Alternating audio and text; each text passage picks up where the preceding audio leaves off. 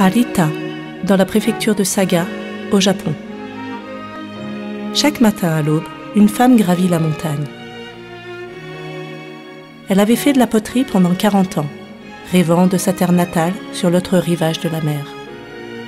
Prisonnière de guerre, elle a perdu sa nationalité et son nom, mais elle n'a jamais abandonné ni sa vie de potière, ni son amour pour la porcelaine. Cette femme, de l'ère Joseon, contribua à l'épanouissement de la poterie japonaise. Elle se nomme Bekpason. La porcelaine blanche de l'ère Joseon, Bekja. En 1597, le Japon envahit Joseon pour la deuxième fois. De nombreux potiers coréens furent emmenés au Japon, arrachés à leurs proches. En face de l'ancien four détruit, au milieu des décombres, il ne restait que des éclats de poterie. La porcelaine blanche de l'ère de Joseon. Chauffée à plus de 1250 degrés Celsius, la porcelaine devient solide et douce à la fois. Blanche et légèrement teintée de bleu, elle porte un voile blanc immaculé à sa surface. Décoration simple et subtile, la porcelaine blanche était la plus belle des poteries de son temps. Du Japon, de Chine, les grandes familles se pressaient pour acheter cette porcelaine. Contrairement aux porcelaines de Chine et du Japon, très richement décorées, la forme de la porcelaine blanche est comme celle de la Lune, sphérique mais imparfaite. Elle n'était jamais retaillée, même si les courbes étaient inégales.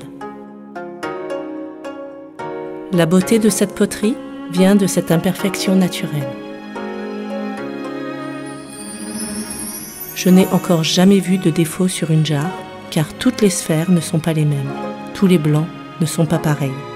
Kim Wan-ki.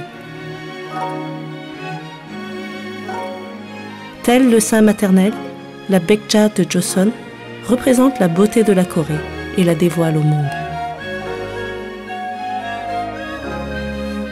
En 1935, après l'achat d'une jarre de lune en porcelaine blanche, le potier anglais Bernard Leake a déclaré En ramenant ceci chez moi, j'ai l'impression de transporter le bonheur sous mon bras.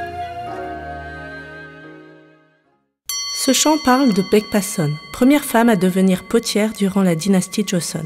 Le travail et la beauté de la porcelaine blanche subliment ici la douleur de la perte de sa patrie et de son mari au cours de la deuxième invasion de la Corée par le Japon.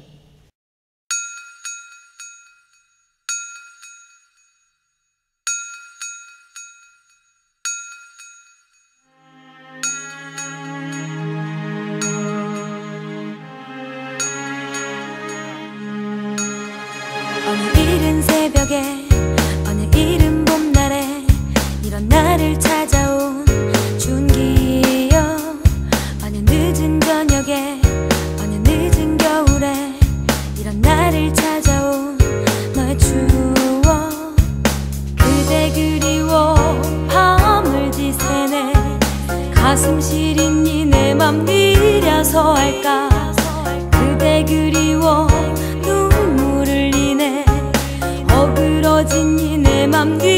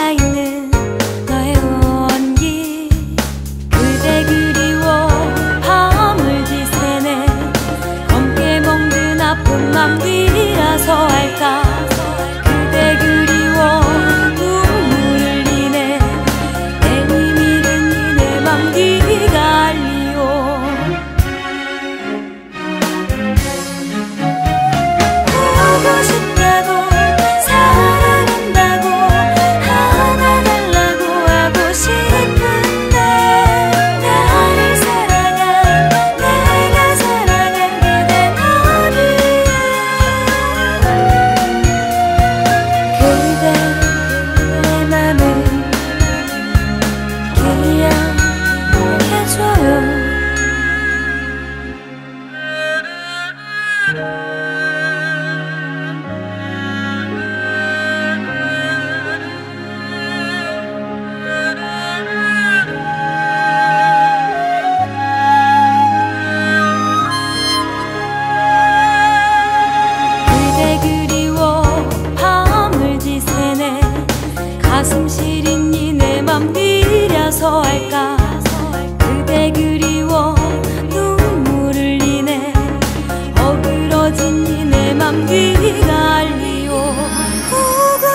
싶다고 사랑한다고 안아달라고 하고 싶은데 나를 사랑하